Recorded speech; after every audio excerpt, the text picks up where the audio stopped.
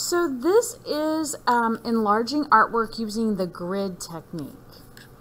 It's a way to flatten and simplify an object and enlarge a drawing proportionally. So what we're going to do is we're going to take this small picture and we're going to blow it up to be a large picture. And we're going to do it not just by eyeballing it, but by doing it in a certain way.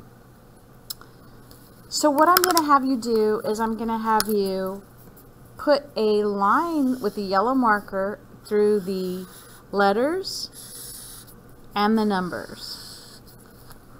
So what's going to happen is you're going to um, find this grid and there's a corresponding. So 1A here will be the same as 1A there. So what we're going to do first is we're going to look at 1A. There's nothing in it, so there'll be nothing here. The second one we're going to look at is B.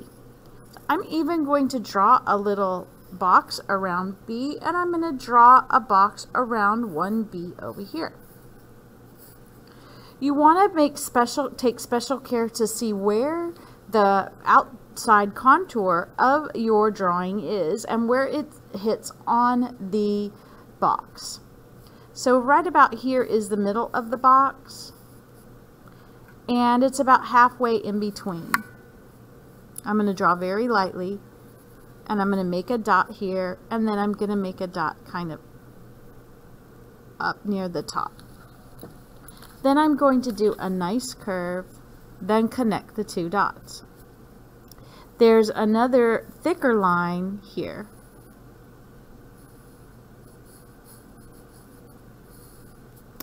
Now there's these little an H that's thick and a little piece of an A. But we're not going to think of it as a piece of an A. We're going to think of it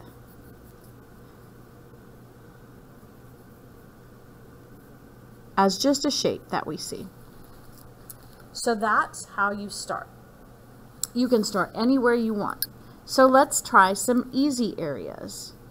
Let's try this area, 5F. So 5F just has this little bit bitty part on it. So 5F, and we will match the little bitty part And that's all there is to it. So you'll go from each one. You might have to darken these lines just a little bit. Let's see. Let's try 6A. It just, if I divided this in half two ways, the triangle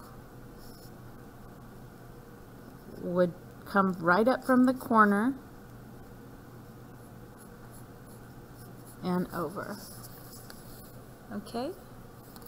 Let's go ahead and try something a little more challenging before I stop this video. Let's try the middle.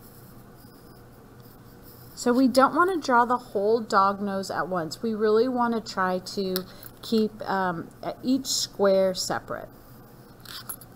So you can see I subdivided the square into quadrants, so that's going to give me the middle of my square.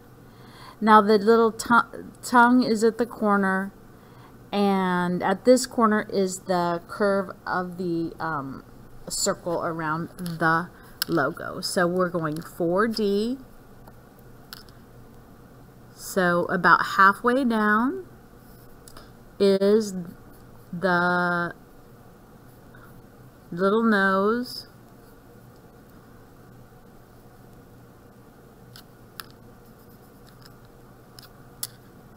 and I think it's actually a little bit smaller.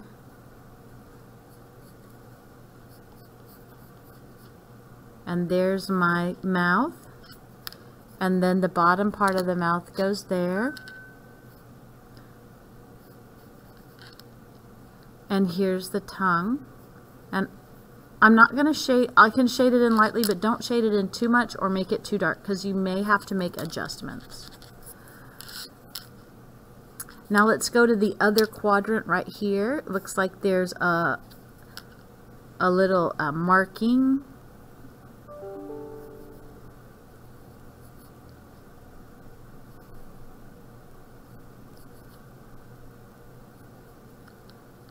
And up here there's a little marking here.